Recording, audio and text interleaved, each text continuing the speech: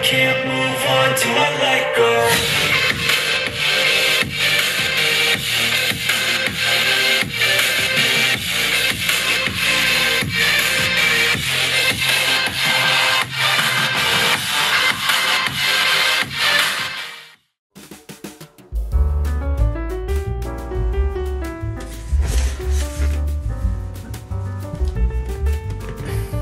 Oke, selamat datang kembali di channel ini. Nah, di kesempatan kali ini di depan saya sudah ada dua buah speaker dari AIMA.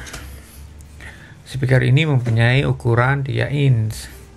Kemudian evidensinya ada yang 4, ada yang 8 ohm, tapi saya pilih yang 4 ohm dan maksimal power handle dari speaker ini 15 watt. Nah, eh, yang cukup menarik dari speaker ini adalah ketika saya lihat di sebuah e-commerce. Nah, ini bagian depannya ini eh, membrannya ini warnanya putih. Kemudian di tengahnya konnya ini warnanya gold. Jadi sangat menarik sekali ketika dilihat. Nah, menurut saya pribadi sangat menarik.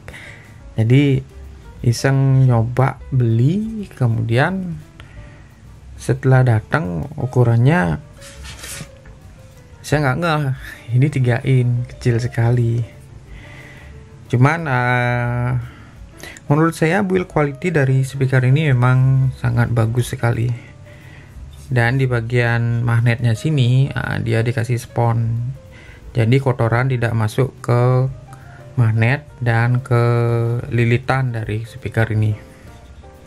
Ya ciri khas AIMA ya memang seperti itu. Tapi yang di sini di samping bentuknya yang bagus, yang menurut saya bagus, eh, bagaimana hasil suaranya? Mari kita coba saja. Nah di pengetesan kali ini saya akan mempergunakan ampi gain gain clone yang 1875 at least ya powernya setara dengan uh, power handle dari speaker ini. Oke, mari kita coba saja kita uh, gimana sih hasil suara dari kedua speaker AIMA ini yang Oke, uh, di sini kita sudah pasang uh, speaker dan amplinya. Speakernya saya uh, seperti saya bilang tadi, uh, saya memakai ampli LM 1875 powernya kurang lebih 15 watt ada tone control nah di sini uh, speaker ini juga maksimum powernya dia 15 watt. Kemudian 4 ohm 3 inch. Oke mari kita coba gimana hasil suara dari speaker ini. Yang pertama kita coba uh, tanpa mempergunakan box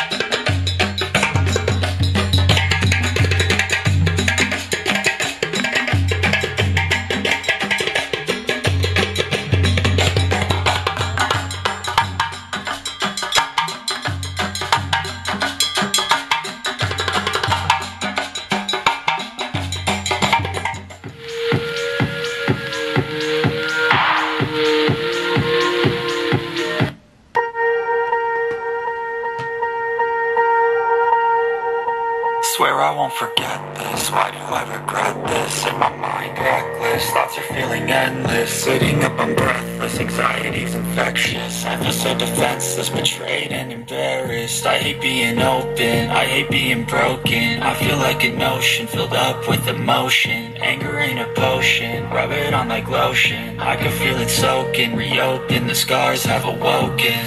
I can't move. Kalau dibesarkan dia jeder. Need to be strong, every breath hold Cause I can't move on till I let go. I can't move on till I let go. I feel so lost,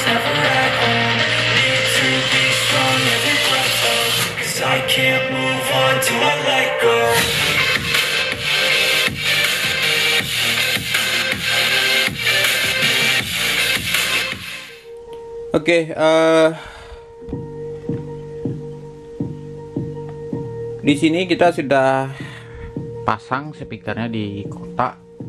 Hmm,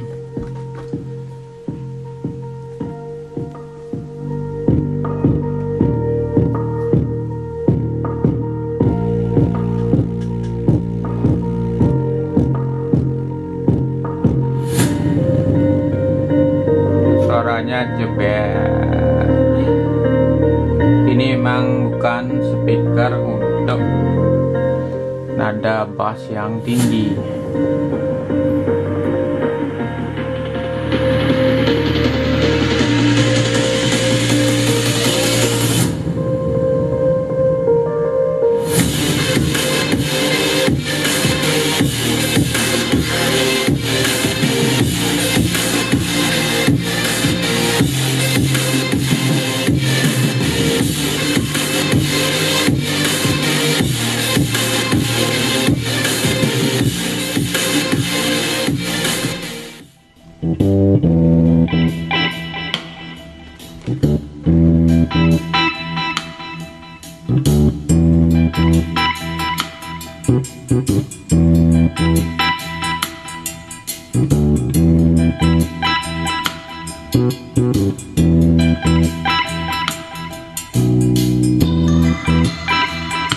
Oke,